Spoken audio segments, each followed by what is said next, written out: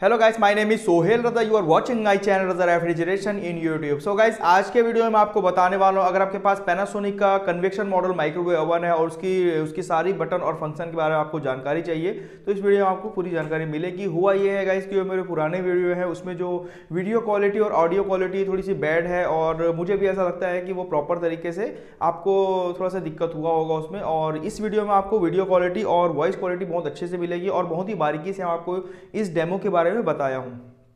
तो चलिए इस वीडियो को शुरू करते हैं।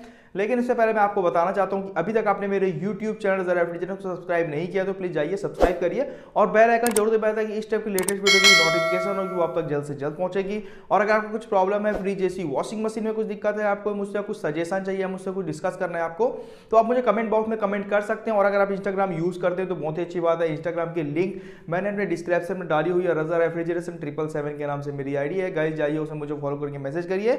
मैं आपका रिप्लाई देने की पूरी से पूरी कोशिश करूँगा। सो गाइज़ चलिए वीडियो को शुरू करते हैं। तो दोस्तों, हम पैनासोनिक माइक्रोवेव ओवन के पास आ गए हैं। अब मैं इसकी सारी बटन और फ़ंक्शन के बारे में बताऊँगा बहुत ही आसान भाषा में। तो चलिए गाइस वीडियो को शुरू करते हैं। कभी भी आप माइक्रोवेव यूज़ करते हैं तो इसमें राउंड वाली ग्लास प्लेट और राउंडिंग प्लेट जो इसमें लगी हुई है, उसको इसमें परमानेंट रखना होगा।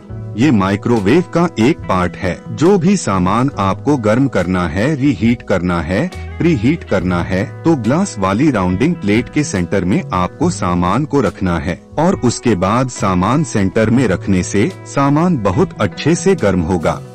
माइक्रोवेव यूज़ करने के लिए हमारे पास तीन टाइमिंग दी हुई है 10 मिनट 1 मिनट और 10 सेकंड ये तीनों टाइमिंग हमारे डेली रूटीन से जो भी हमारा काम रहेगा खाना बनाने से लेके ग्रिल करने से लेके कन्वेक्शन के लिए सारा यही टाइमिंग में यूज़ होगा। अब यहाँ से 10 मिनट का टाइमिंग स्टार्ट करेंगे और यहाँ से स्टार्ट बटन को दबाएँगे और टाइमिंग रिवर्स ड्यूरेशन में जाएगा। टाइमिंग कंप्लीट हो जाने में ओवन स्टॉप हो जाएगा। आप बटन से भी अपने ओवन को स्टॉप कर सकते हैं और आप टाइमिंग के बीच में भी डोर खोलते हैं तो यहाँ से भी आपका ओवन स्टॉप हो जाएगा। डोर खोल के भी हम सामान को चेक कर सकते हैं गर्म हुआ है या नहीं, फिर आप डोर बंद करके, आप फिर से स्टार्ट बटन को दबाएँगे तो टाइमिंग वही से स्टार्ट हो जाएगा। और इस बटन को दो बार दबाएँगे तो टाइमिंग हमारा ज़ीरो हो जाएगा। अब आप जो भी सामान रखेंगे तो 10 मिनट बहुत ज़्यादा हो जाता है। डेली रूटीन में खाना बना हुआ है या आपको दाल गर्म करनी है या दूध गर्म करना है तो पाँच मिनट का भी टाइमिंग सफिशियंट रहता है। अब ये जो फ़र्स्ट टाइमिंग है, वो दस मिनट की है। अब इस बटन को दबाते जाएँगे तो यह 10 से 10 में प्लस होता जाएगा 30 मिनट तक। उसके बाद एक मिनट वाला प्रोग्राम है, आप एक से एक में प्लस करते जाएँगे तो ये एक से एक में प्लस होते जाएगा। 9 मिनट तक इसकी टाइमिंग है। और आपने जो टाइमिंग सेट किया है, ये उस टाइमिंग में स्टार्ट हो जाएगा। उसके बाद, ये सबसे छोटा टाइमिंग है 10 सेकंड का। 10 सेकंड आप जैसे प्रेस करेंगे, वह 10 से 10 में प्लस होता जाएगा। सेकंड में, अगर आप हल्का फुल्का सामान या पापड़ रोस्ट करना है तो आप इस टाइमिंग यूज़ कर सकते हैं। ध्यान दे, आप तीनों प्रोग्राम यूज़ करेंगे तो आप ग्लास का बाउल या माइक्रो सेव का बाउल ही डालेंगे। सामान डालने के बाद आप अपने ओवन को सीधा स्टार्ट कर दीजिए। उसके बाद हम जो भी टाइमिंग डाल रहे थे, ये ऑटो में सेट है। उसके बाद हम फोल्डर के थ्रू आएँगे माइक्रो पावर। माइक्रो पावर में लो मीडियम हाई दिया हुआ है। माइक्रो पावर से गर्म करने की कैपेसिटी को यहाँ से सेट कर सकते हैं। तो आपने जो सेट किया है, सेट करने के बाद आप टाइमिंग सेट करेंगे और स्टार्ट कर देंगे। तो हीटिंग कैपेसिटी जो है हाई में सेट रहेगी। माइक्रो पावर में आप ग्लास का बाउल या माइक्रो सेव का बाउल यूज़ कर सकते हैं। अगला बटन है ग्रिल। अगर हमको जो भी सामान रोस्ट करना है तो हम ग्रिल बटन का यूज़ करेंगे। अगर आप नॉन वेज बना रहे हैं और चिकन के बड़े पीसेस है तो आप एक में सेट करेंगे। अगर चिकन के छोटे पीसेस है तो इसको दो में सेट करेंगे। पहले आपको ग्रिल मोड सेलेक्ट करना है। उसके बाद आप टाइमिंग डालेंगे और फिर आप स्टार्ट कर देंगे। ध्यान दे कि ग्रिल यूज़ करने में आपको रेक यूज़ करना है। और ग्लास बाउल यूज़ करना है।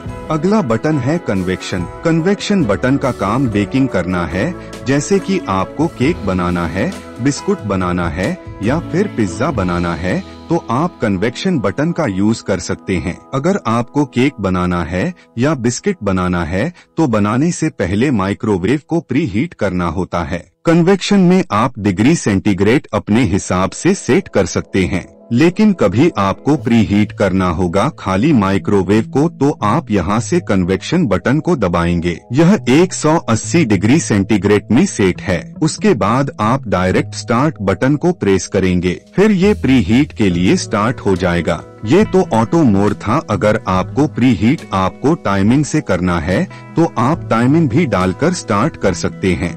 अगला बटन है कॉम्बिनेशन कॉम्बिनेशन बटन अगर हमको माइक्रो पावर या ग्रिल को जोड़ना है, तब आप कॉम्बिनेशन यूज़ करेंगे। सपोज़ आप ऐसा कोई सामान बना रहे हैं, जो अंदर से पका हुआ रहे और बाहर से क्रिस्पी रहे तो उसके लिए जनरली यह यूज़ होता है। कॉम्बिनेशन आप जब भी यूज़ करें तो ग्लास बाउल में यूज़ करें। कॉम्बिनेशन सेलेक्ट करने के बाद आप यहाँ से टाइमिंग डालेंगे और स्टार्ट कर देंगे। कॉम्बिनेशन में टोटल तीन मोड दिया है। वन माइक्रो पावर ग्रिल दो माइक्रो पावर और ग्रिल हाई पावर में है। तीन माइक्रो पावर और ग्रिल लो पावर में है। यह लो मीडियम हाई में काम करता है। उसके बाद आप टाइमिंग डालकर स्टार्ट कर दे। उसके बाद अगला बटन है ऑटो डिफ्रॉस्ट। ऑटो डिफ्रॉस्ट में आपके फ्रिज में वेज या नॉन वेज रखा हुआ है और उसमें बहुत सारा पानी है और पानी को सुखाना है तो उसके लिए यह बटन यूज़ होगा। ऑटो डिफ्रॉस्ट में एक में चिकन है, दो में चिकन के बड़े पीसेस है, तीन में फ़िश है और चार में मटन है और पाँच में वेजिटेबल और फ्रूट है। आपको सेलेक्ट करने के बाद आपको बटन को अप डाउन करके इसका वेट सेलेक्ट करना है। वेट सेलेक्ट करने के बाद आपको स्टार्ट कर देना है। तो वह मॉइस्चर को सूखा कर नॉर्मल टेम्परेचर में लाकर दे देगा। उसके बाद आप देखिए ब्लू डार्क लाइन में जो भी प्रोग्राम दिया है, वह ऑटो कुक मेनू है। ऑटो कुक मेनू में आपको टाइमिंग नहीं डालना है। आपको मोड सेलेक्ट करना है। और एक्सप्रेस बटन को दबाना है। उसके बाद आप देखेंगे कि एक से एक लिखा हुआ है और एक नंबर में रिहीट सूप उसके बाद सूप को अंदर डालेंगे और स्टार्ट बटन को दबा देंगे। तो 50 सेकंड के टाइमिंग में स्टार्ट हो जाएगा। उसके बाद अगर आपको इसको एक से दो करना है तो आप अप डाउन वाली बटन से आप एक से दो कर सकते हैं। उसके बाद आप स्टार्ट करेंगे अगर सूप या कॉफ़ी है, दो कप है आप इसको एक से दो करके स्टार्ट कर देंगे। उसके बाद आ जाते हैं इंडियन मेनू में। यहाँ पर भी सात नंबर से स्टार्ट है आलू मटर। सामान मिक्स करके अंदर डालना है और स्टार्ट करना है। उसके बाद तेरह मिनट का टाइम दिया हुआ है। और आपको पाँच से सात मिनट बाद आपको सामान को बाहर निकाल कर उसको मिलाना होगा। उसके बाद अगला बटन है राइस मेनू। राइस मेनू में यहाँ पर ऑप्शन दिया हुआ है 19 में फ़िश पुलाव है और 20 में स्टीम राइस है। स्टीम राइस इसमें बहुत नॉर्मल ऑप्शन है। स्टीम राइस के लिए अप डाउन बटन से 20 सेट करेंगे और जैसे ही स्टार्ट करेंगे तो 17 मिनट का टाइमिंग वो ऑटोमेटिक ले लेगा और आपको राइस रेडी करके दे देगा। ये सारा जो कुक मेनू है, यह ऑटो कुक मेनू है इसमें टाइमिंग नहीं डालना है। नॉर्मली आपको कोड सेलेक्ट करना है और स्टार्ट कर देना है। अब आप सफ़ाई से रिलेटेड देखते हैं। इसमें यहाँ पर ग्लास प्लेट होती है। उसके बाद एक बाउल लेंगे, उसमें व्हाइट वेनेगर कटे हुए नींबू के स्लाइस और पानी की क्वांटिटी थोड़ा ज़्यादा रखेंगे। उसके बाद बाउल को अंदर रखकर 20 मिनट का टाइमिंग सेट करके स्टार्ट कर देंगे। उससे जो स्मोक निकलेगा, उससे गंदी स्मेल दूर हो जाएगी और कॉकरोच भी दूर हो जाएँगे। फिर आप गीले कपड़े से पोछ ले, उसके बाद सूखे कपड़े से भी पोछ ले। बस आपको कोटा प्लेट साफ़ नहीं करना है, बाकी आप सारा सरफेस साफ़ कर सकते हैं। उम्मीद है गाइस आपको मेरे द्वारा दी गई जानकारी समझ आ गई होगी तो आप मेरे वीडियो को लाइक करें।